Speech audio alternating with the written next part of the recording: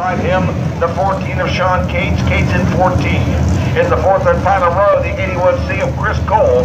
Cole in 81C in the 21H of Michael Hussman. Hussman in 21H. The car come off turn number four and